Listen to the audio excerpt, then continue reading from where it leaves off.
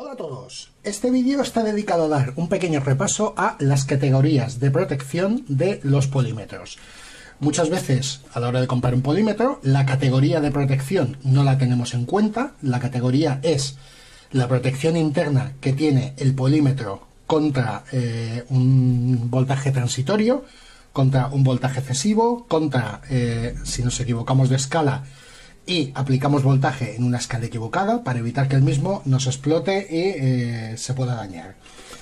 Lo dicho, las categorías es una cosa que no tenemos en cuenta. Podemos muchas veces encontrarnos polímetros súper completos con un rango de medida enorme en un montón de escalas y los mismos pueden no tener categoría de funcionamiento, como sería este caso. Es un polímetro que sí, tiene un fusible interno que lo protege, bueno, lo protege en teoría, solo en parte, pero ya digo, es un polímetro que no está indicada la categoría de trabajo a la que eh, está protegido para poder funcionar. Vamos a ver qué es esto.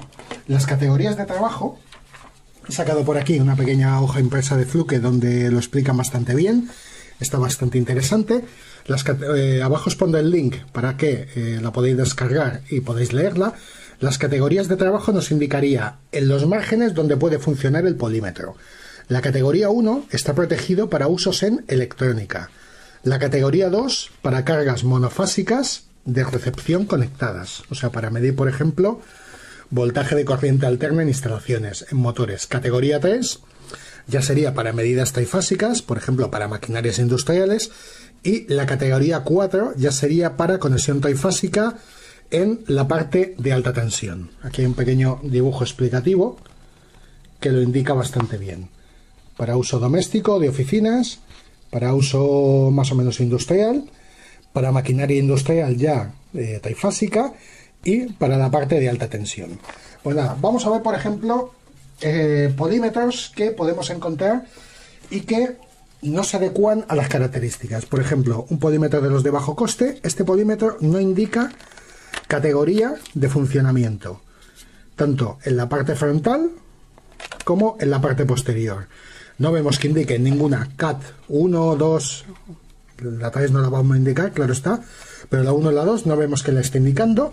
Y aparte de eso, nos vamos a encontrar con que, por ejemplo, las puntas de prueba del polímetro van los cables sueltos, no llevan un aislamiento completo en la parte posterior. Este polímetro sería adecuado para poder trabajar en temas de electrónica, en usos domiciliarios, en voltajes hasta 220 voltios. Incluso para voltaje de 220 voltios realmente no sería recomendable, pero bueno, se podría utilizar. Pero lo dicho, es más un polímetro enfocado a temas de electrónica. Con este polímetro, si realizamos medidas de voltaje medio, a partir de 220 voltios, por ejemplo, y tenemos un transitorio, el polímetro nos puede reventar en las manos. Es el problema que pueden tener. La corriente alterna, ya que he hablado del tema del transitorio, tenemos corriente alterna, tal como sabemos que va de onda positiva a onda negativa. En este caso puede ser, por ejemplo, de 220 voltios. Pues un transitorio lo que sería es que dentro de esa onda alterna se produce un pico de interferencia que ese pico puede llegar a alcanzar valores de alto voltaje. Pongamos que estemos midiendo 220 voltios, podemos tener un transitorio, un pico de interferencia que puede llegarnos a valores de 700 hasta 1000 voltios. En caso de que en ese instante estemos midiendo con un polímetro que no tenga protección, que no sea de categoría 2, el mismo nos puede reventar en las manos. ¿Qué nos puede producir esto? Pues por ejemplo, un condensador, un motor arrancando, hay diferentes aparatos que pueden dar interferencias eléctricas, los variadores de frecuencia que se utilizan en los motores, por ejemplo, y pueden generar esto. Ya que hemos visto este primer polímetro, vamos a ver otro que ya digo, eh, es mucho más completo que el anterior, pero lo mismo, si vemos en su frontal, no vemos que tenga categoría indicada. Tiene eh, bueno, un fusible de protección, que ya es algo, hay otros que ni siquiera llevan fusible, pero no está indicando, indicando ningún tipo de categoría en concreto. Por lo tanto, este polímetro es de bajo coste, es muy completo, para uso en electrónica es ideal, es muy bueno, pero para usos en voltaje alterna, en medida de instalaciones, no podríamos utilizarlo. Para uso profesional, para uso de electricista, no sería un voltímetro adecuado, porque no tendría la categoría 2 adecuada para poder funcionar eh, correctamente. Más que para poder funcionar, para poder protegernos en caso de un arco eléctrico o en caso de un, transitorio que nos pueda entrar por la red eléctrica. Lo mismo que el polímetro de antes, en este las puntas de prueba no están aisladas adecuadamente, por lo tanto no es adecuado para poder utilizarse en alto voltaje, o mejor dicho, en voltajes a partir de 250 voltios. Es un polímetro adecuado para usos en electrónica, para uso domiciliario. Dentro ya eh, de los polímetros de categorías, por ejemplo, vamos a ver este. En este caso el polímetro sí que nos viene indicado que es para categoría 2, lo siguiente que vamos a fijarnos es el tipo de puntas que lleva, si las mismas están aisladas. Inicialmente las puntas vienen selladas, vienen aisladas, porque por lo que en ese aspecto ya podríamos fiarnos un poquito más. De todas maneras, eh, son polímetros muy pequeños. Tenéis que tener en cuenta que la protección que puede tener un polímetro fino, un polímetro pequeño, siempre puede ser peor que no la de un polímetro de mayor tamaño. Por lo tanto, nos indica categoría 2, uso hasta 600 voltios máximos, tanto en corriente continua como en corriente alterna, pero ojo, por el tamaño de las puntas de prueba y demás, eh, al loro, cuidado con conectarlo a voltajes eh, superiores a 220 voltios. Claro que los puede medir, puede medir hasta 600, pero podemos tener una descarga si tuviéramos una interferencia en la red eléctrica. Lo mismo que sucede con este polímetro, este en este caso ya está bastante más protegido, también es de categoría 2, hasta 600 voltios, tiene un fusible interno de protección que nos protegería en caso de tener un transitorio que nos pudiera generar un cortocircuito interno y pudiera quemarse el aparato y quemarnos las manos. Las puntas de prueba en este polímetro ya son de bastante mejor calidad, están algo más aisladas, y las mismas, la puntera tocaría ser un poco más corta para poder trabajar con voltajes hasta 600 voltios. Y la parte posterior, ya digo, está, bueno, se podía sellar todavía un poco mejor, pero bueno, está mejor sellada que la de los primeros polímetros que hemos mirado. Si os fijáis, por ejemplo, en polímetros de categoría 2, los mismos en corriente alterna solamente llegan hasta 600 eh, voltios aproximadamente, como sería este y como sería este otro. En cambio, los polímetros que hemos hablado antes, los de uso en electrónica, no tienen categoría y los mismos nos están indicando que llega, por ejemplo, este hasta 750 voltios y 1000 voltios en corriente continua. Y este otro lo mismo. Llega hasta 750 voltios en corriente alterna y 1000 voltios en corriente continua. Cuando ya hemos hablado de que los mismos están peor protegidos que estos dos que hemos hablado ahora. Y ya por último, en esta primera parte del vídeo, ya que os mostraré en la segunda parte algún polímetro más, tenemos un polímetro indicado para categoría 2, en este caso, y categoría 3, con 600 voltios como máximo y para categoría 2 nos está indicando que es hasta 1000 voltios.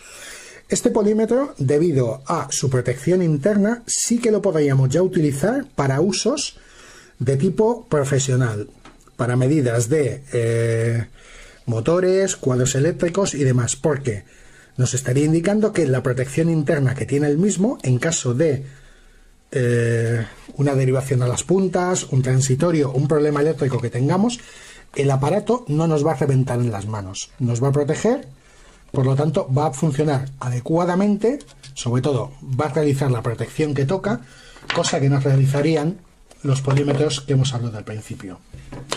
Y ya en esta segunda parte, para no alargar excesivamente el vídeo, vamos a ver dos ejemplos. Uno de un polímetro eh, bastante peligroso, totalmente inadecuado para usos en electricidad a partir de 50 voltios, para medidas de 220, mm, ya digo, se puede llegar a utilizar, pero la verdad es que lo considero bastante peligroso. Y otro bastante adecuado. El que considero bastante peligroso es este. El fabricante indica que puede realizar medidas de o hasta 250 voltios y hasta 1000 voltios. Ni de coña os aconsejo que con este tipo de polímetros realicéis medidas por encima de 250 voltios, 220 voltios. Por ejemplo, la medida de un motor o una corriente trifásica de 380, de verdad no lo probéis porque eh, os estáis jugando que el polímetro os reviente en las manos. Y menos que menos, medidas hasta el margen que está indicando el fabricante, 1000 voltios. 1000 voltios con un polímetro así, directamente te estás jugando un arco eléctrico que internamente se derive el aparato y ya digo, reviente sencillamente y te acabes quemando. No solamente quemando, sino que puedes tener un accidente mucho peor. El otro motivo de no recomendar el polímetro, aparte de por el tema de el rango tan alto que está indicando el fabricante, el mismo no indica que tenga ningún tipo de categoría de protección eléctrica. Ya digo, no aparece nada, las puntas son completamente inadecuadas para usos en altos voltajes. Tendrían que estar muchísimo más protegidas. Y las puntas de prueba, lo mismo que pasaba en el ejemplo anterior, van sueltas, van al aire, podemos tener una derivación por esta parte y el tamaño de las mismas es prácticamente ridículo. Ya digo, es un polímetro que para uso con pequeños voltajes en casa todavía, pero ni de coña se os ocurra para usos profesionales utilizar un voltímetro de este tipo o aplicarlo a voltajes a partir de 220 voltios. Ya para 220 yo personalmente lo considero un tanto peligroso. Lo mismo tanto para corriente alterna como para corriente continua, que también llega hasta la escala de 1000 voltios. No sé por qué el fabricante pone unas escalas tan elevadas para un voltímetro, la verdad que tan peligroso. Puestos en el otro extremo, vamos a ver el último modelo, que en este el fabricante lo idea es un voltímetro pensado para usos en domicilio, por lo tanto está más adaptado a las escalas de voltaje que vamos a tener en domicilios, en casa. En este caso, como máximo, puede medir hasta 250 voltios en alterna, lo mismo que en corriente continua. En corriente continua, en uso en domicilios, lo máximo que vamos a poder medir será 12, 24 voltios Raramente o en ninguna ocasión nos vamos a encontrar voltajes de corriente continua de 250 voltios. El fabricante indica que está protegido para la categoría 2. Los voltajes máximos que podemos aplicar. Está protegido con fusible interno, las dos escalas de amperios y miliamperios. Y las ondas de prueba, el capuchón que iría incluido en el voltímetro, tiene una protección muchísimo mejor, más adecuada para el rango de frecuencia de voltaje que va a trabajar el aparato y para el nivel de protección que nos va a establecer. Ya digo, este nivel de protección no solamente tiene que estar en la paramenta interior del aparato, sino también en los cables de test deben estar protegidos adecuadamente. Las otras punteras la base de la puntera está sellada, está bien protegida. Incluso para mejorar un poco la protección, las puntas deberían ser algo más cortas y asomar un poco menos de lo que están asomando. Pero bueno, es un polímetro que para uso en casa es muy adecuado, tanto sea este como otros modelos. Buscad esto, que las puntas estén protegidas, que el rango de voltaje sea adecuado a lo que realmente vamos a medir no nos vale de nada eh, un polímetro que mida hasta 1000 voltios, pero la protección interna que tenga sea más deficiente. El tema de la protección interna significa que en caso de equivocarnos en la escala, por ejemplo, lo ponemos a medir a 220 voltios y nos hemos equivocado y lo hemos puesto en el rango de medida de ohmios, el aparato, como sería este caso, podría explotar. En este caso, muy probablemente la protección interna nos evitará que el aparato explote y que el aparato pueda averiarse. Un polímetro de la categoría adecuada, en caso de equivocarnos de escala, de meter una medida en una escala equivocada, la impedancia interna que tiene es muy elevada y evita que el aparato pueda averiarse y podemos tener un accidente.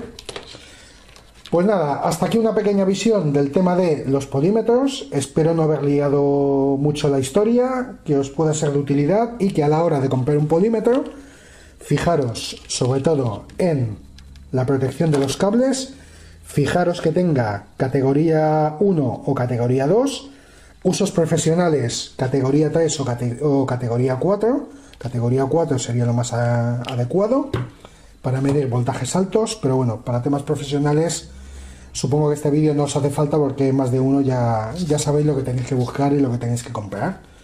Pues nada, un saludo y que sigáis visitando los vídeos. Repara tú mismo.